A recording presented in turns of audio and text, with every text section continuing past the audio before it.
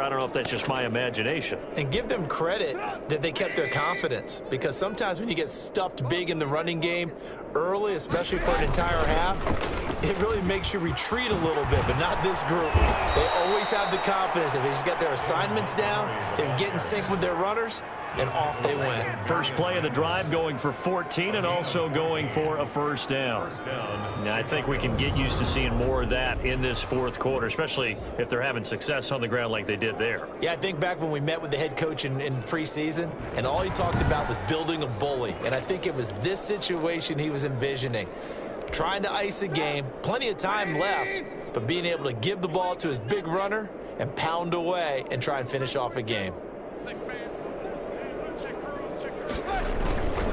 play fake to Montgomery. Now Trubisky.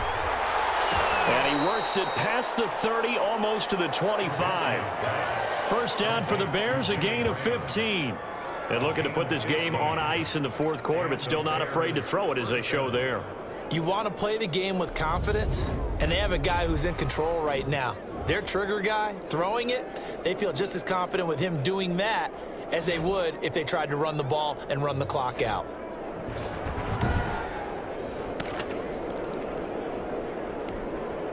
First and 10, and they've got three tight ends out there. A jumbo package look.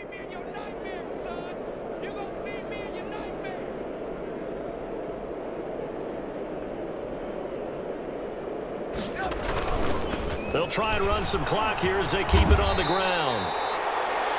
Call it a gain of four on first, and that'll make it second down. Brandon, I've got to think this offensive line has got some smiles on its faces. And, and I know it sounds crazy, but they practiced for this back in training camp. They knew they'd be in situations where there'd be extra defenders in the box coming after them, trying to keep them from locking down a game. Right now, they want to show the world they're up to the challenge. From the 22, Trubisky, the connection made. It's Graham. And they'll get this down to the 10. 12 yards there and a first down. When you have someone throwing it that well, that confidently, you don't have to call the game in fear at all, do you? You just go ahead and play. Yep, confidence with a lead to throw it here in the fourth, and boom, he's on the money. Yeah, you don't have to tuck your head in and, and go like turtle at this point. You can just go ahead and play.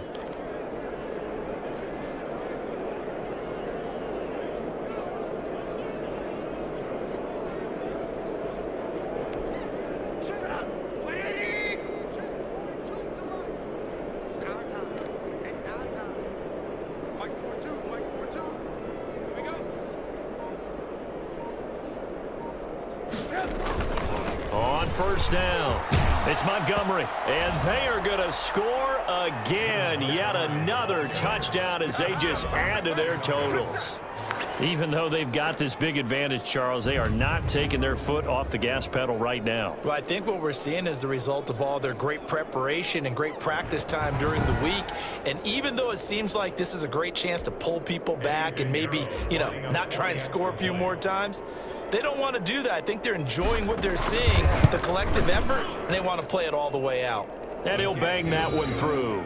The drive summary that time, five plays. And it was David Montgomery's touchdown run that polished it all off. Pat O'Donnell to kick off for Chicago. The kickoff unit is out on the field, and they will send this one away. This will make it into the end zone. And no return forthcoming for Richard as this will come out to the 25. The Vegas offense ready for their next possession. And let's face it, this drive is not going to have any bearing on this game, but it's kind of important for one reason, isn't it? It certainly is. You got to get points. And okay, all right, I'm being facetious here, but you get points. You feel a little bit better about yourself as you move on to the next one. Carr and the Raiders come up first and 10 at their own 25-yard line. From the gun, it's Carr. He's got it to Williams. And up to the 35 before they're able to knock him down. 10 yards there to start the drive and just enough by about the length of the football for a first down. Nice game there, partner, but you and I both know that won't do anything for the final score. They're not going to win this one. Right now they're playing for pride and fantasy points. and just to erase that goose egg, nobody wants to be shut out. He'll find his tight end. That's Waller. Just two minutes remaining here in the fourth quarter of what has been a one-sided affair. So it's Raider football as we get you reset. They're looking at second down now as they search for a consolation score. To throw again on second down. Carr. And the ball comes out on the hit, but they'll say it's incomplete. We've seen this quite a few times in this game. Offensive line unable to keep leverage, unable to keep people away, facing a lot of pressure. Fortunate, fortunate just to get rid of it. One of the reasons they're down is that inability, though, to stop the pressure. We saw another example of it there. Now a pass hauled in downfield. Give him 30 yards there. Now you've got to hustle your guys to the line and get them set. He's going to find and complete it to Renfrow. And all the way going up big yardage. Another nice gain there. This one goes for 20. Offense for them has been at a premium. You wonder where plays like that have been all game long. They're thinking the exact same thing themselves but they're also looking forward now because now these plays are really for next week, trying to get some momentum going. That is caught at the seven-yard line. And all the way down inside the five to the four. Another nice gain. That's now 30 yards between those last two plays. Again, they'll throw with Carr. And he's going to be dropped. Back at the 15-yard line. That's sacked by Khalil Mack. Another try after the first down sack. Carr. And that one drops to the ground. Incomplete. Clock stops here just inside of 20 seconds. 19 left. It certainly didn't appear that that's where he wanted to go with the ball initially, so he tried to get something out of it by dumping it off to his running back unsuccessfully. Toward the end zone, but that's going to wind up incomplete.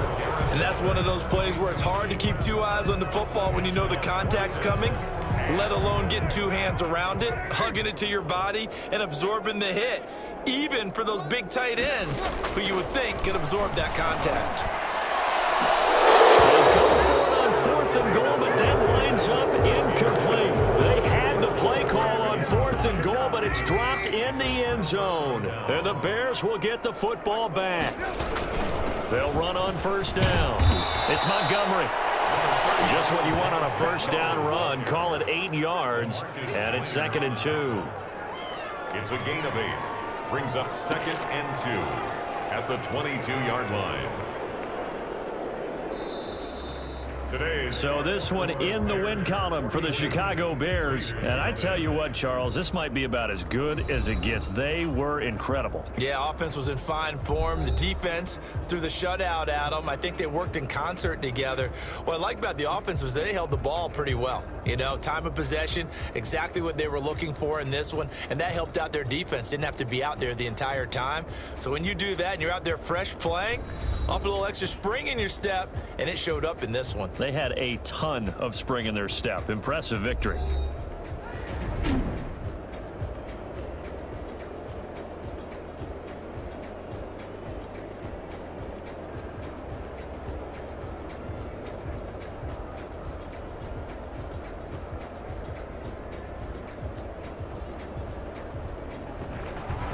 So that'll do it for us. For my partner, Charles Davis, and all the hard-working men and women on our crew, I'm Brandon Gaudin. You've been watching the NFL right here on EA Sports.